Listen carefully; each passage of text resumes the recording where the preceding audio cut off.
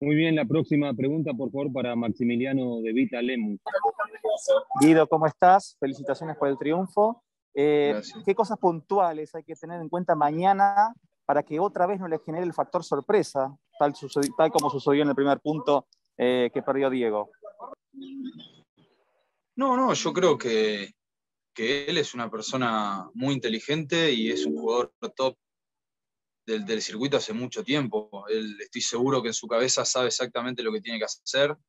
Eh, yo puedo dar mi opinión, pero estoy seguro que él tiene la madurez y la, solvencia de, que, de, saber que mañana va a tener que cambiar algunas cosas como para poder tener un resultado positivo. Eh, todo el equipo confía en él, sabe la capacidad que tiene él para jugar Copa Davis, para jugar el circuito, para enfrentar este tipo de situaciones estoy seguro que él se va a reponer y que mañana vamos a ver una versión distinta de él y, ojalá que pueda sacar todo su tenis para, para poder darle el punto a Argentina, que ojalá sea el tercero.